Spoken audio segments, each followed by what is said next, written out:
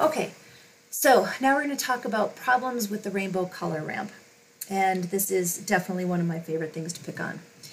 So when we're choosing colors for our maps and charts, it isn't a subjective exercise like picking out kitchen towels. We don't just pick colors on our graphs because they look good or we like them, and we definitely don't accept software defaults, right? Okay, you may have in the past, but hopefully you won't anymore, right? So there are important rules we can follow to make color schemes work for us and make sure colors are representing our data correctly. We also need to be aware of perceptual constraints like red-green color blindness. The goal is to design with all these issues in mind and not merely rely on defaults or by picking what we think looks good. That's the good news, is there are rules for us. So let's start by looking at the uh, visible spectrum.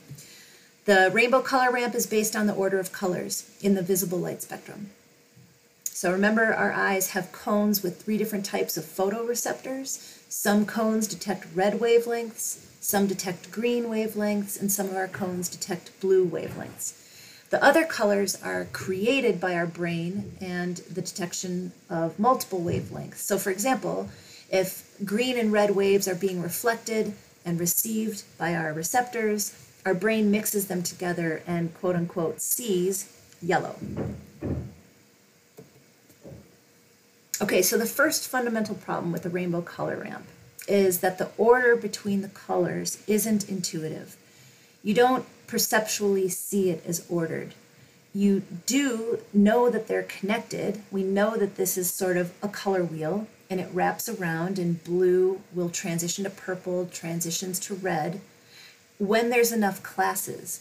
But if we reduce the number of classes, we lose that intuition. We lose that the the um, the connect- connectivity. We can't rank them.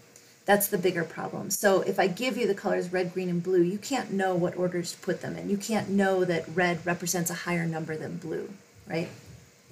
Okay, so another issue or limitation of the rainbow color ramp is um, that we have different hues, but we also have um, different shades of hues or different lightnesses of the hues. So it's called luminance. Notice how the yellow, if we desaturate this color scheme, the yellow shows up as light gray right in the middle of the ramp. And we've got the purple and dark red showing up as dark gray. This creates a lack of perceptual ordering. We're going from low to high in values, but we're going um, dark, dark, dark, and then lightening up again, and then going back dark. And that makes no sense. So you can test for luminance by converting your color gram, your color ramps to grayscale or um, desaturating them. Again, this is called luminance. Okay, so here's another example just kind of showing it spread out, linear. Um, it's important to know that people tend to see dark colors as deeper or lower and light colors as higher. So light colors are typically read as peaks or high places, and that's why topography is most logical and easiest to read when light colors represent high elevations. Use dark colors to represent low elevations. The problem with the rainbow color scale is that the luminance breaks up the natural sequential nature of the color scheme. It introduces these false or distracting accents into what should otherwise be continuous data. So, you know, if this was a roller coaster, we'd be going, whoa, whoa, and then way down and then back up. But our values should be going from, you know, zero to one. So it really just uh, um, works against us in too many ways. Yellow and teal have the highest luminance and will often appear to represent peaks, even though they're, you know, kind of in the middle of the scale. Okay. The third major downfall of the rainbow color ramp is the unequal representation of continuous data. So you can see that the, the rainbow color ramp is sort of dominated by the color green. There's a lot of blue, but yellow is very brief. There isn't the same proportion of color equally spread across the ramp. It's not a one-to-one -one representation. So if you're dealing with continuous data or just a range of values, they're not being represented equally. Looking left to right and back again, certain colors seem to run on while others are very short lived. So the incremental change in mapped color hue doesn't translate to the same incremental change in numeric value. So that's a problem. There's going to be misrepresentation of data. Okay, the fourth issue to take with the rainbow color scheme is that humans don't perceive differences in all hues equally well. So this adds to the problem of the fact that we don't have um, equal proportions of the colors in the ramp. We also don't see them equally. So these on top are kind of the classic color ramps. This is a like a it's called magma sometimes or it's a heat kind of an intense heat ramp and this is the rainbow color scale where we can see that there are these false features in both luminance and false features in the dominance or um, over proportion of some of the colors. The color ramps on the bottom were adjusted to make them perceptually uniform, meaning we should see equal amounts of green and yellow and orange and red and pink. They've been adjusted. That's, these are called perceptually graded color schemes. Notice too that the luminance is uh, much more balanced. We don't have that striking peak in the yellow and the teal. It's been balanced out. Here we're definitely going from a light to a dark and we've maintained that, but we've gotten rid of this weird peak in the yellow and the peak in the red and the dominance of the red has been muted a little bit. Okay, here's another uh, quick example. This strip of colors um, here, the, the rectangles in this uh, segment is how we see the rainbow color ramp. The colors change from green to blue, but you can see there's a lot more diversity between the blues than there is in the green. The greens look almost identical, but the rectangles have evenly spaced hue values. The steps between the colors are mathematically consistent, but obviously the corresponding effect or the way our cones and our brain receive the effect isn't linear at all definitely um, a big clump of very similar looking green colors. Okay, but in this color ramp, the rectangles also have an uh, even distribution in hue, but they look to be evenly distributed. This is a perceptually uh, uniform color ramp. Um, notice too that this peak in the luminance, this teal blue, has been evened out. And now we have a very consistent graduation from green to blue and an even stepping down in um, luminance. Okay, the final problem relates to the human temptation to just use color for the sake of using color. It's not being used for a solid reason that supports the display of the data. So this is the same plot that we looked at when we were celebrating gray. It's population growth from 2000 to 2010 for the states in the US. This time, though, the states, states aren't colored to encode a new value like region.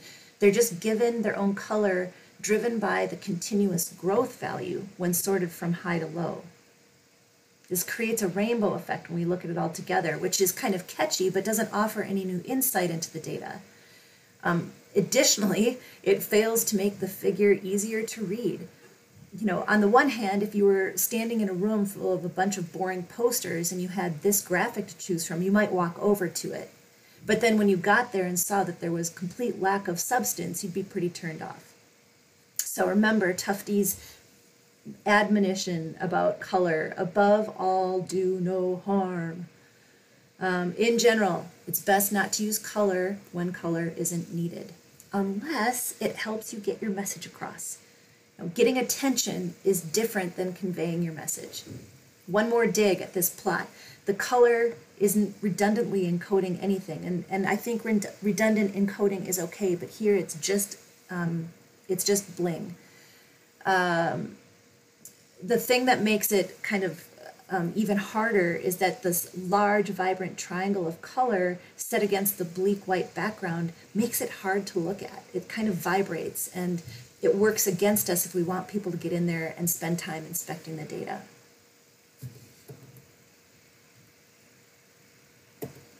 Okay, one more quick example, putting a few of these rainbow defects together. The rainbow color ramp um, here is applied to a county level map. It's a classic map that you've probably seen a bunch of times. It could be representing any number of things. Um, this one is representing the fraction of precipitation that's lost to evapotranspiration over time. And so what do we know? Like looking at this, can you say which color represents a higher or lower value of precipitation lost? You might be able to intuit it from what you know about the country, rainfall, um, temperatures, and things like that. But no, you can't know if if green is more a higher fraction of precipitation that's lost to ET or or less than yellow or green. Okay. Yeah, we don't we don't pre-attentively or intuitively know, and I would argue that you should be able to uh, intuitively look at this map without the legend and know where the highest levels of loss of precipitation are happening. It should be obvious. Here's the actual um, legend. So white is the uh, lowest fraction of precipitation lost, and the dark kind of browns are the highest. So low values of loss and high values of loss, but very unintuitive. The luminance is another problem. So not only do we, do we not have intuitive ordering of these colors, but the luminance creates this big jump in shade between light green and dark green, which creates this big visual north-south line across the Midwest. And this might be a real artifact of the numeric data, or it could be an accent driven by the color scheme. These are things you need to be very aware of and um, make sure you're making deliberate choices. Oops. Okay, these are maps of Mars that are drawn in the prism color scheme. So topography, gravity, and crustal thickness. Again, the colors don't aid in understanding. So, for example, is this red area higher or lower than the blue-green? You know, we could look up close if they if they add some hillshade, which it kind of looks like they have, or it could be an artifact because we know that white reads as higher than darker colors. So, for all we know, this could be an artificial um, misrepresentation you might be able to this, but I can't. But it should be intuitive. You shouldn't have to use the legend except if you want to get specific values off. So a bonus issue with the rainbow color ramp is that it's indistinguishable for people with some form of color blindness, which is just kind of like, yeah, an extra dig. So between 5 to 8% of males in our country are affected by some form of um, color vision deficiency. We're going to talk about that in the next set of slides. So, so what are some options? Let's look at this one here. This is a new color ramp that was um, developed. It's called Cividis. It's two colorblind, sorry, colorblind safe colors with a clear luminance or brightness hierarchy. I'm going to show you another one here, but notice how you would read this and see these yellow patches on the edges of whatever these are as the high points. And that's actually true. Um, here's the same, um, oh, I was going to say that uh, Viridis is another color ramp that was invented by the same people. Um, it's, it's really um, common for people with um, color vision deficiency to use these kind of safe color ramps like Viridis and Cividis. So Cividis is the one that is just two colors. Don't confuse it with this. This is the rainbow color ramp as seen um, with a red-green uh, color, color deficiency. So Viridis and Cividis are, are two really safe ones that are good to use. So notice what parts of the images seem highest. Here you can see that it's the edges of these cells, but when you look at them here, to me anyway, these seem to be higher because they're lighter color. That's some of the, um, that false accent that I was talking about. Same here, the yellow makes these look like they're a convex um, shape. They're rounded on the top. Whereas in fact, they are a con, uh, concave shape with ridges along the edges. So um, yeah, this has big implications. It's not necessarily going to make a big difference on the graph I might make about, you know, aspen propagation. But imagine if you're looking at something that does have some kind of 3D effect you know, maybe you're a radiation technician or an engineer reading a scan of O-ring damage on a solid rocket motor. Like these things do have major implications, and when we when we strip out colors that are supposed to have meaning for us, um, for five to eight percent of the population, that's just an extra issue. So again, um, I want to make sure that you keep these basic rules in mind when designing your maps and graphs to create accessible and effective images that convey your message more honestly. Thanks.